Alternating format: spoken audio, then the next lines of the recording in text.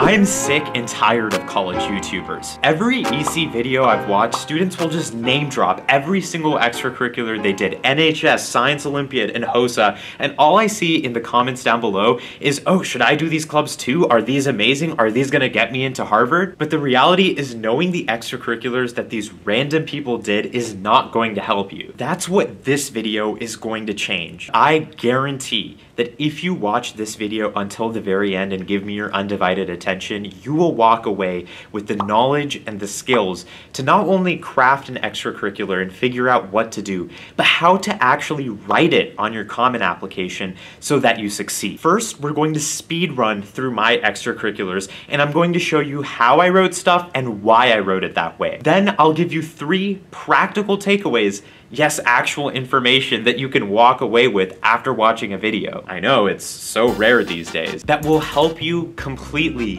level up your common application and ultimately get you into the school of your dreams just like it did for me. I'm Rishab, I'm an incoming freshman at Harvard College, and these are my extracurriculars. My first extracurricular was in the category of research, and once you launch your Common Application, you'll see that it gives you a list of categories from which you can choose what you want to put your extracurricular in. Then it asks you what your role was. For me, this was software engineering intern and independent researcher. Then the most important part, which is the description comes along. And this is where it gets really interesting because these are things that you can actually optimize in your application. Let me read you what the description for this activity was, and then I'm going to show you what I initially wrote at the beginning and illustrate what a stark difference those two are. The description I ended up using was conducted novel bioengineering research, won top award, in brackets 50K, at Regeneron ISEF, licensed tool to Lattice Automation,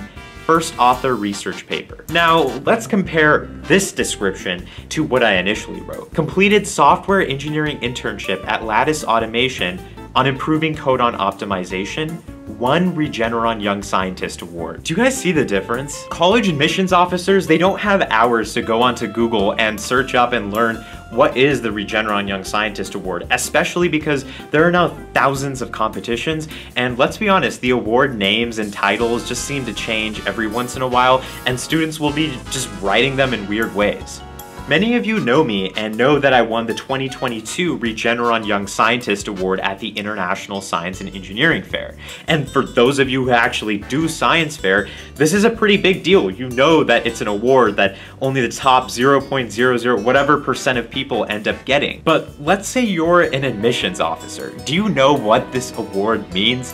Probably not. So I crafted my extracurricular description to say won top award 50K at Regeneron ISEF rather than saying the actual award name because they can see that award name in my honors section, which by the way, I made an entire video about my stats and honors, so be sure to watch that after this one. So many genuinely smart, deserving students who are passionate about their thing get left out in the college application scene because of just this increasing competitiveness that is causing people to misphrase things intentionally. And this is an unfortunate reality that I just don't see anyone talking about. People will just flat out intentionally misrepresent their awards or what they did to make it seem like something else. Like there are literally thousands of students who go to ISEF every year and Hundreds of them will win some award, but they'll phrase it in such a way that it makes it seem like they won the topmost award that, for instance, some other student might have actually gotten. And that's why showing the impact of these awards is incredibly important.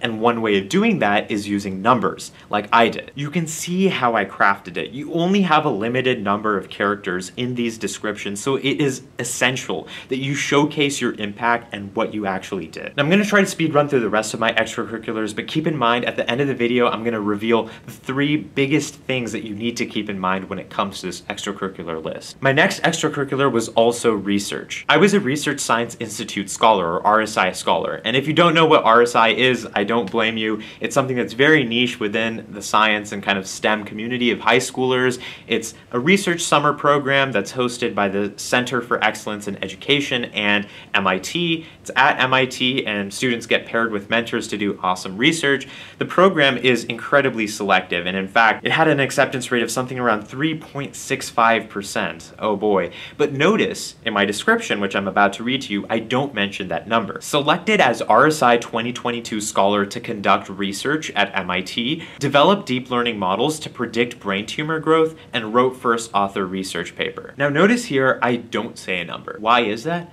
Well, the colleges that I was applying to, a lot of these top schools, they already know what RSI is because a lot of the top STEM science students will be having that on their application. You need to really look at the nuance of it and understand the unique extracurricular that you're doing and how it applies to your situation. That's why you can't just blindly follow the advice of some other YouTuber who's telling you to do this activity or this activity. My next EC on the list was also research, and I know at this point people are gonna be like, Rishab, the top three activities were all research. Don't you need to show that you're well-rounded? Well, at the end of the video, I'm gonna be debunking that and showing exactly why it's not true.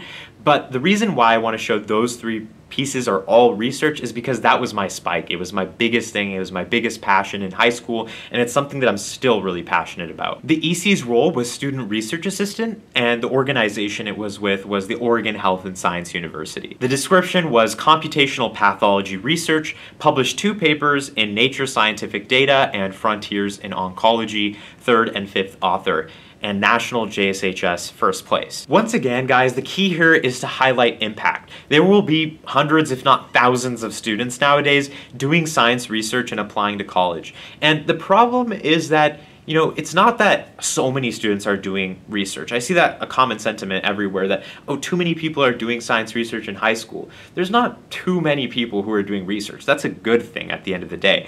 The bad part is not actually caring about it or not actually being passionate about it. And for you, how do you highlight that you actually care? How do you highlight that amongst the thousands of students or hundreds of students who are just faking that passion? Well, the way you can do it is through showing impact, showing how dedicated you were to the activity. Publishing papers in a graduate level journal or even beyond is not an easy feat. I published papers and won an award, and that sets me apart. Now, extracurricular four, on the other hand, is not research, it was paid work. And I served as the chief executive officer of my own company that I created called Cafe Development. My description was loves creating educational YouTube videos, aha, wink wink, and 13 million views. Uh, founded Discord development company serving 2.9 million users, earning some amount per year. Now, once again, I kind of highlighted what I was doing, creating YouTube videos, and then I showed the impact. How many people was I reaching? How much money was being made? These are all figures that you can include to demonstrate impact. Now, a lot of people are probably wondering, why did I include the statement loves creating YouTube videos? Why do you say loves? Can't you just say created YouTube videos? That saves you a whole six characters on that list. That's a really great point, and I thought about it a lot. And the reason why I included it is because I wanted to show that it was something that I really enjoyed doing. Now for my research activities, I kind of discussed how I got into research a little bit in some of my essays or that was clear on my rec letters that I was really passionate about STEM and science research. But for creating YouTube videos, they'll be like, this doesn't make sense. How does that create the student's story? Why did they start a YouTube channel? I'm just really curious about that. Do they do it for college applications? In my case, no. I created YouTube videos back when I was in like sixth grade and I did it because I loved to do it. I did it because it was fun and I wanted to show that to build the story around it of how the heck did this guy even get involved in YouTube? Why did he start creating those videos? Extracurricular number five was community service. I served as the president of a nonprofit organization I started called the Samyak Science Society. At the time, we had mentored over 3,000 students in STEM workshops, and we were also sponsored by organizations like Google. I led a team of 30 plus students around the world. I think it's clear what I'm gonna say again impact. Given the state of college admissions, again, there's going to be thousands of students with their own nonprofit initiatives, which again, I don't think that's a bad thing. That people often say that, hey, why are so many people creating nonprofits? This is a bad thing. It's not. Students are doing community service. That's a good thing. The problem comes to when students are just creating it for the sake of college application. Now, how does the college know that I actually wanted to do it and that I actually, you know, spent a lot of time doing it? Well, I show impact. Extracurricular number six is community service, and in this one, I served as a senior patrol leader and was an Eagle Scout for my Boy Scout troop. What did I do? I led a troop of 90 scouts for fundraising, service projects, and campouts. I built a bee pollinator habitat for my Eagle project with the city. There are 60,000 Eagle Scouts every year but I guarantee not all of them show what they were doing, why they were doing it, with how many scouts they were doing it with. Extracurricular number seven was athletics. My role was a varsity distance athlete. My organization was Westview High School. Now, my description, enjoy daily practice with team, competed in varsity 6A district and invitational meets, ran 800 meter, and blah, blah, blah. Now, once again, you'll notice the words that I put enjoyed daily practice with team. I feel like that's a common thing now where students will just join a bunch of activities to kind of pad their college applications. But I wanted to show that this is something I've actually been doing for a long time. I've been running since like second grade in, you know, the local running club and stuff like that. And so I wanted to show that I actually enjoy doing this thing and that's how it factors into my story. EC number eight was other club slash activity and I don't really have any transferable advice since this was something that was super unique to me. So I'll just leave it on the screen in case you're interested, but let's get on to EC number nine. This was speech and debate and my role was event captain. The organization I was in was the National Speech and Debate Association. I earned the Academic All-American Award, which was top 2%. Here, notice that I actually put the rate. For RSI, I didn't put acceptance rate 3.65% because all the colleges mostly know what RSI is because it's such a well-established program. But for Academic All-American, they might be like, mm, what does that actually mean? Well, it meant that I was in the top 2% of speech speech and debate members. In addition, I won third place in the state and coached students on debate skills every week after school. Now notice that this is my ninth extracurricular activity and I still have impact. I'm not just putting in random filler activities like, oh, NHS or HOSA. I'm actually doing stuff that I like, and that's an advice that I'll give you in just a second. EC number 10 was music slash vocal. My role was choir member. Organization, I put Westview High, and my description was bass singer in school concert choir, enjoy singing in choir for the last nine years. Once again, I'm showing that I did this activity for a long time because I actually cared. If I wanted to join a filler activity, it would be NHS. But I didn't. I did things that I actually enjoyed doing.